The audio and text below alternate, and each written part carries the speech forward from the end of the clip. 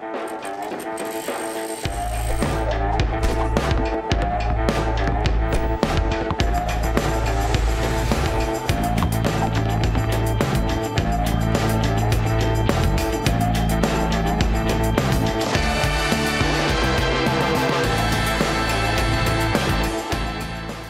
Buonasera amici sportivi di Teleiride, bentornati all'appuntamento con il T-Sport del venerdì, il nostro focus dedicato al mondo sportivo della regione toscana. Ogni volta all'interno di questo spazio portiamo una nuova realtà, dei nuovi ospiti per parlare di una nuova disciplina sportiva. Oggi torniamo a parlare di rugby e lo facciamo in compagnia eh, degli amici dei Cavalieri eh, Prato Sesto. Vado subito a eh, ridare il benvenuto, visto che torna a trovarci, al presidente eh, Francesco Francesco Fusi che torna proprio nei nostri studi per T-Sport. Ciao, buonasera a tutti, ciao. E allora, al fianco del Presidente diamo invece il benvenuto per la prima volta a Enrico Romei, che è qua in, in, duplice veste, in, duplice veste, perché dicevamo coach per quanto riguarda l'attività senior, quindi proprio dei Cavalieri, mentre sei direttore educativo per quanto riguarda l'attività giovanile del GISPI. Sì, eh, questa è la mia duplice attività. Corretto. Correttissimo. Eh, per eh, Cavalieri Union eh, svolgo il ruolo di assistente tecnico a coach Carlo Pratichetti, gli do una mano con eh, un'attività di reparto, come diciamo in gergo tecnico, mentre... Qual è il tuo reparto? Il mio reparto sono i tre quarti, okay. quindi giocatori apparentemente veloci o comunque i più veloci del, dell'otto, mentre per eh, quanto riguarda Cispi Rugby appunto svolgo questa mansione di direttore educativo che è un misto tra un'area un manageriale che coinvolge sia l'area strutturale, quindi gestire le risorse interne al club, umane, ehm, appunto, luoghi e economiche, ma anche che eh, cerca di dare una visione educativa unitaria al club, quindi a tutti gli attori che poi confluiscono nel nostro quotidiano, genitori, insegnanti, bambini, ma non solo, anche le persone che vengono a contatto con la nostra, con la nostra realtà. Una filosofia, una linea comune per, per, tutta, per tutta, la società. Eh, abbiamo parlato di coach Carlo Pratichetti, io riparto proprio dalle parole di coach Carlo Pratichetti al termine dell'ultima gara eh, disputata proprio eh, dai Cavalieri contro il Rugby Perugia è arrivata una sconfitta che per, per, la verità non è stata particolarmente dolorosa e è stata eh, appunto ehm, registrata nell'ultima giornata di campionato. Al termine della partita Pratichetti ha detto in generale il giudizio della stagione è positivo, abbiamo affrontato un anno agonistico in cui i giovani atleti della Rosa sono stati protagonisti di un progressivo miglioramento regalandoci anche soddisfazioni inaspettate. Ci prepariamo ad affrontare il prossimo campionato da protagonisti. Queste le parole del coach della prima squadra eh, dei Cavalieri. Io voglio sapere se il Presidente insomma, condivide le parole del, del suo coach e insomma, che, che, stagione è stata. Vediamo anche la classifica intanto in superpressione grazie al nostro regista Manuele Bartolini. Sì, le, le, condivido in pieno, la stagione è stata direi molto positiva anche al di là delle, delle aspettative iniziali. Noi eravamo partiti con l'idea di, di, ottenere una salvezza molto tranquilla, un gruppo eh, che ha un'età media, è un under 23 fondamentalmente, e poi mh, via via diciamo che i ragazzi sono cresciuti eh, veramente molto bene grazie al lavoro fatto ovviamente dallo staff tecnico e direi che mh, è andata al di là delle più rose aspettative. Siamo arrivati a lottare fino all'ultima all partita eh, per arrivare a barrage promozione. Ci è sfuggito veramente per un soffio e la partita di Perugia siamo scesi in campo già sapendo il risultato eh, della partita di Tania perché che loro è seconda in classifica la vostra diretta rivale eccola qua la classifica. Eh, sì, loro avevano giocato prima di noi per un, diciamo, forse non era il caso di farli giocare prima, però questo, non, non, scendiamo in, in, in polemiche eh, che, che, che, è inutile Ultimamente all'ultima giornata in genere si gioca in simultanea. Sì, comunque insomma al di là di questo insomma sono veramente quisquiglie, noi abbiamo fatto credo un campionato, una stagione veramente da 8 come, come, ha detto anche Carlo perché i ragazzi hanno fatto miglioramenti incredibili e abbiamo gettato credo le basi per poter partire con serenità per la prossima stagione. Insomma stiamo, stiamo già lavorando eh, per partire serenamente l'anno prossimo e, e, continuare su quello eh, che, è, che, è, il nostro progetto quindi un gruppo di, di ragazzi senz'altro giovani eh, però che hanno dimostrato eh, che in campo ci, ci sanno stare e anche molto bene. Insomma. Stupendo fra l'altro perché noi ci siamo incontrati un po' di tempo fa e insomma eh, le prospettive, gli obiettivi della stagione in un anno comunque particolare perché era un anno di, di ripartenza tra virgolette sì. erano sicuramente più, più, modeste mi viene da dire come, come, prospettive per la stagione invece poi è arrivato questo bel terzo posto eh sì, sì Neanche arrivato, il Presidente si aspettava così tanto. ma sinceramente, sinceramente all'inizio stagione no. Eh, però devo dare atto ai ragazzi che hanno fatto un lavoro, ai ragazzi, allo staff, eh, che hanno fatto un lavoro veramente egregio, quindi eh, di questo gliene va dato atto e sono stati eccezionali.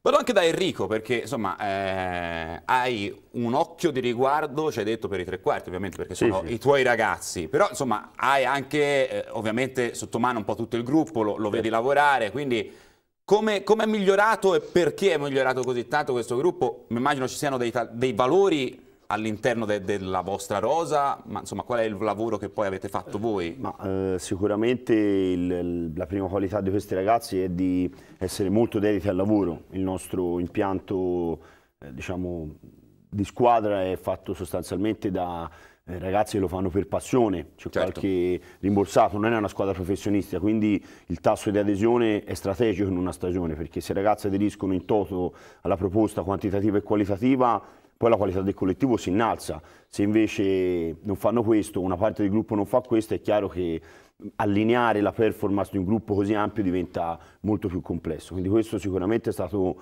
un valore che i ragazzi hanno messo a livello individuale in un sistema collettivo. Quindi dopo un iniziale momento di difficoltà, perché essendo giovani ci sono squadre appunto come Benevento, ricordo la, la prima trasferta, piuttosto che Alghero, squadre che hanno costruito magari una, una rosa comprando atleti da altre realtà, eh, una squadra giovane può impattare, però poi nel lungo termine eh, la nostra qualità interna anche a livello di adesione collettiva ha sicuramente pagato in termini di performance, quindi sia morale, capacità di essere resilienti, resistere in partite difficili o di venire fuori all'ultimo, ma anche proprio nei volumi di lavoro, quindi abbiamo avuto ragazzi che sono veramente migliorati tanto perché hanno lavorato tanto e con qualità.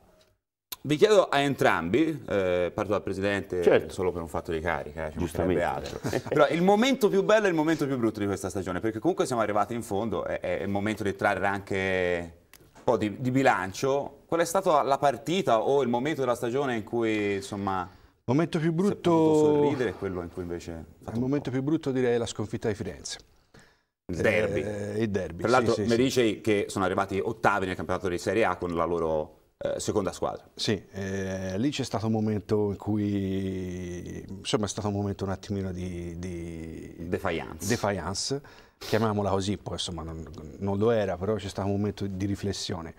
E il momento più bello ce ne sono stati diversi, sinceramente, però la trasferta di Catania, devo dire, è stato uno di quelli più belli. Anche perché poi sono trasferte importanti, difficili. Sì. Enrico, poi magari ne parliamo anche certo. di queste trasferte che sono certo. molto impegnative, immagino, per, per, dei ragazzi che, come hai detto prima, non sono professionisti. No, no, qualcuno fa anche la notte, viene direttamente alla... alla la notte al lavoro, eh? Sì, la notte al lavoro e poi viene a fare la trasferta, quindi l'approccio è effettivamente, può essere invasivo il fatto di dover fare di avere una logistica molto difficoltosa o con più spostamento, addirittura come nel caso di Catania Beh, o di Alghero, Alghero esatto. un traghetto da, da prendere, insomma, un viaggio che dura svariate ore.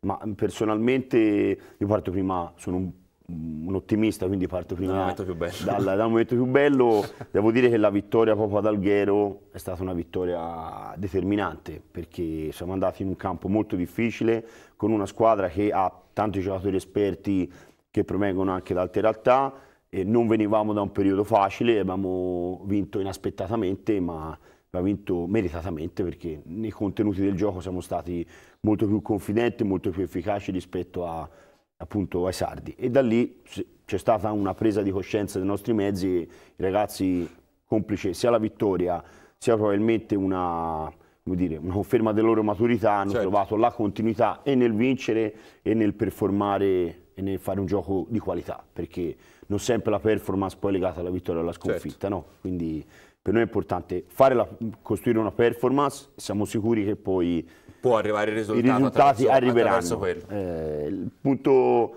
più brutto, ma mh, mm, lui dice Firenze, perché comunque è un derby. Un derby, si sente. A livello di pancia siamo tutti un po', come dire, presi, ma io a Benevento quando abbiamo perso inizio anno ho avuto un po' di... Di paura? No paura, però um, ho capito che forse avevamo saltato dei tasselli all'interno probabilmente de della periodizzazione del lavoro e quindi ho detto speriamo di non doverseli, come dire, questi pezzettini che abbiamo lasciato forse durante il pre-season di non scontarli successivamente.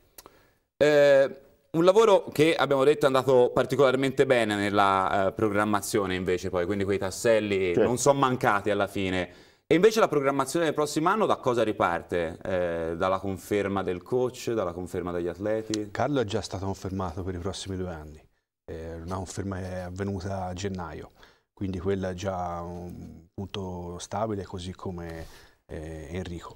Eh, per quanto riguarda i ragazzi, l'intenzione è quella ovviamente di confermare il, il blocco che ha disputato questa, questo, questo, campionato, non dipende solo da noi, però insomma, la nostra intenzione è, è assolutamente quella. Eh, C'è da lavorare su un paio di, di, ruoli che abbiamo individuato e stiamo già diciamo, cercando di, di, non si fanno nomi, di capire, non, si fanno nomi, si fanno però è presto, eh, ovviamente. Eh, però insomma la, la, nostra intenzione è quella di confermare il blocco granitico insomma, che, che, ha disputato questo campionato senza fare assolutamente gli stravolgimenti che sarebbe da, da, da stupidi insomma, certo. in, in, questo momento e andare a intervenire soltanto in queste massimo due ruoli che che ci sembrano un attimino più, più, deboli tutto là. Pescando qualche veterano, almeno questo lo possiamo dire, pescando qualche veterano oppure continuando diciamo, sulla linea verde? No, eh, continuando sulla linea verde, magari eh, ragazzi che abbiano già un minimo di eh. esperienza, però che riescano in questa maniera a, a inserirsi già in un gruppo di per sé giovane.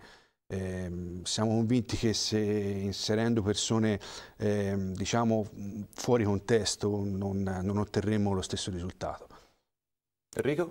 Ma, mm, Sentivo che insomma stavi partendo, no, stavi aggredendo la domanda. Il, noi siamo veramente giovani, no? quando parli con altre realtà ti dicono sì, noi siamo giovani, poi guardi le liste gare, sì, magari un 30%, 40% della rosa è under 21, però poi hanno anche il uno zoccolo duro di under 25 o under 30, che nel gioco di rugby, nel gioco di lotta collettiva, un po' conta, certo. no? Eh, sia per l'esperienza proprio di campo, ma anche nell'aspetto della leadership e della personalità, certo, perché certo. un ragazzo è diverso da un uomo e noi latini maturiamo tardi, quindi un diciottenne è estremamente diverso da, da, da un trentenne.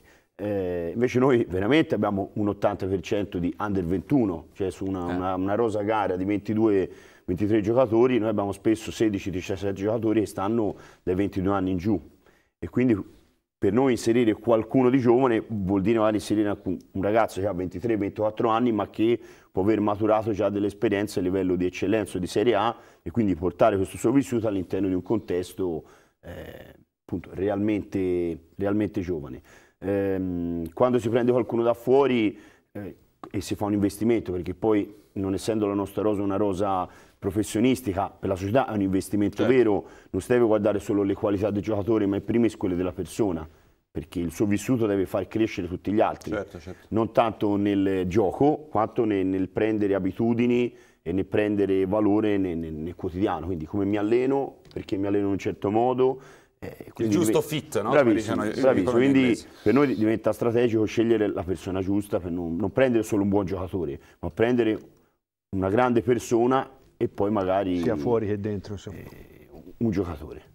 Anche perché insomma poi c'è un livello eh, di qualità in questi giovani da tenere alto, Presidente, perché insomma eh, ricordiamo Andrea Pancini, eh, Ion Neculai eh, e insomma tanti altri ragazzi Matteo della vostra, eh, Mirko Goggioli, eh, Lorenzo, Pa Goggioli, scusami, Lorenzo Pani, Gianmarco Magni, sì. Sghinolfi, William, quindi insomma tanti sì. ragazzi che hanno indossato, indosseranno, forse in un futuro vedremo anche con la nazionale maggiore, chissà, la maglia azzurra.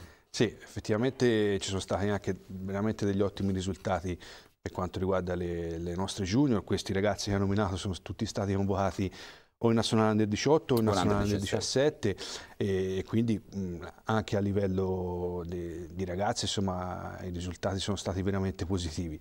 Eh, molti di questi ragazzi, ora a parte Ion, Matteo e, e Pancini che credo quasi sicuramente andranno a Remedello in accademia, glielo auguro insomma,